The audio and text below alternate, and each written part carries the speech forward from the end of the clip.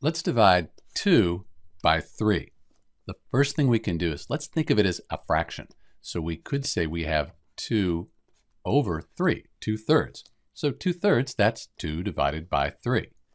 You could also take your calculator out and divide 2 by 3 on a calculator.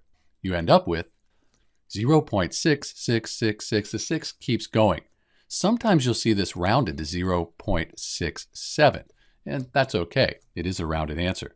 You could also just get rid of these here and then put a bar over the 6 to show it keeps repeating, and that's a little bit more accurate.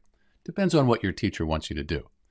The other way we could do this, we could take 2 and see how many times 3 goes into 2. 3 doesn't go into 2. Let's call this 20, and then we can put a 0 with a point up here. So 6 times 3 is 18, and when you subtract, you're left with 2. So we'll call this 20 and move over 1, and 6 times 3 is 18, and you're left with 2. We could call it 20, and so on. So we just keep getting 0.66666. The 6's, they repeat. And that's why we wrote 0.6 with the bar to show they're repeating, although sometimes it's rounded. This is Dr. B dividing 2 by 3. The answer as a fraction is 2 thirds, or as a decimal 0.6 with a bar to show it's repeating. Some people do round this, though, to 0.67. This is Dr. B, and thanks for watching.